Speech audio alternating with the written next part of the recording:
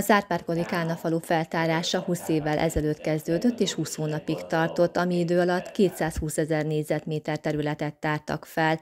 A feltárás alatt előkerült egy templom, közel 1100 sír, 198 földbe mélyített ház, négy tárolóhelyiség és több ezer objektum. Mindezekről a munkálatokról tartott előadást 2023. október 28-án a Leveles Iskola disztermében Terei György ásatásvezető régész.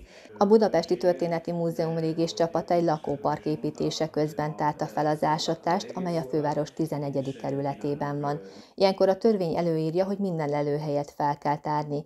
A munkálatokról az előadót Terei Györgyöt kérdeztük tulajdonképpen előkerült a Kárpát-medence eddig legnagyobb feltárt Árpádkori faluja, és nem csak a legnagyobb, hanem a leggazdagabb is. El kell mondani, hogy általában árpádkori falvak szegényes leletanyaggal rendelkeznek, itt pedig olyan tárgyak voltak, olyan tártípusok voltak, amik teljesen szokatlanak. Például üvegleletek, vastárgyak, ugye a vas nagyon-nagyon fontos volt a középkorban, vigyáztak rá, hogyha megsérült, akkor újra hasznosították. Itt több mint 200-300 vastárgy került elő, és ami nagyon izgalmas, egy olyan temetkezési módot láttunk, amely egyedülálló Magyarországon, ilyen nagy számban egyedülálló, ezek a kőkeretes sírok falusi plébánia templomnál szokott lenni, egy-kettő, mondjuk a földesúr ö, ö, ilyen betemetkezik, de ebben a temetőben 300 ö, kőkeretes sír volt. Az egybegyűlteket köszöntötte dr. Péter Csaba, a Fehérgyarmat polgármestere. Polgármester úr kiemelte, hogy rendhagyó történelmi órákon az iskolákban is helye lehetne az ilyen előadásoknak. A képviselőtestület meghirdette a kulturális élet sokszínűségét az elmúlt időszakban, és ez a program is része ennek a sokszínűségnek,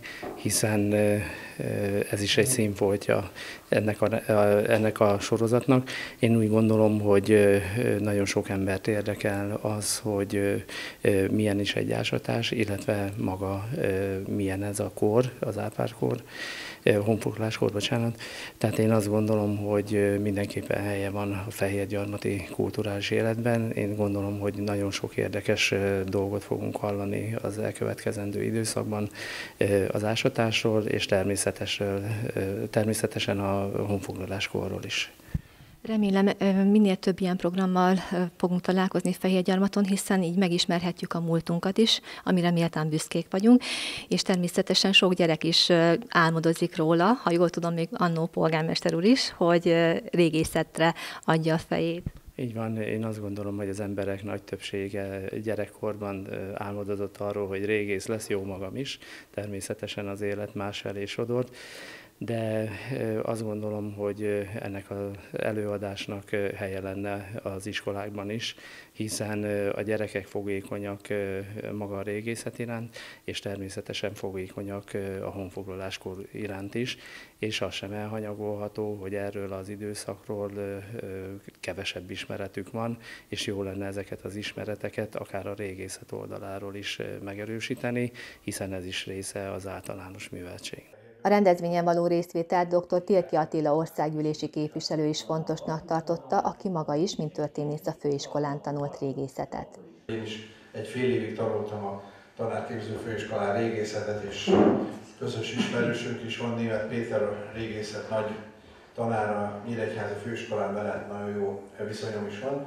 És arról is váltottunk egy pár szót, amit annak idején Elsima Lászlóval, a igazgatóral eh, beszéltem meg, hogy mivel több tarsói lemezt is honfoglaláskori lelet együttes találtunk már a megyében, és vannak befejezetlen eh, kutatások a megyében, hogyan lehetne erre pénzt eh, találni.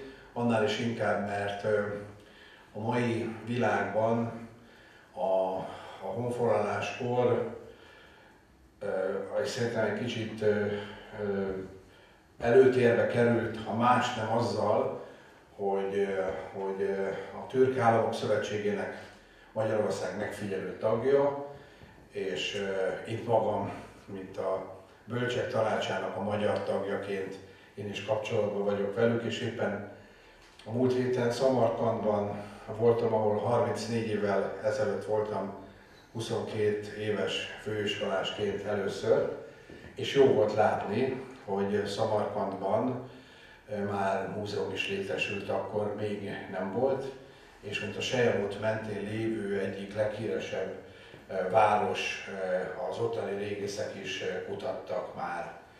A Molnár Ádámot ismerhetik a fehérgyalmatiak, aki elkerült már, szülők is elkerültek Fehérgyalmatról, Ádám, a, a, akit én ismerek, mint régész a fiatalabb korosztályból, és talán azért is fontos egy ilyen előadás, mert kedvet kaphat egy fiatal ahhoz, hogy, hogy talán ilyen tevékenységet folytasson. Vagy, amit beszéltünk régész úrral, hogy ne váljon belőle olyan vállalkozó, ahogy ő fogalmazott, aki ledózerolja azt a területet éppen, amit megvásárol, és eltünteti a múltnak a nyomait.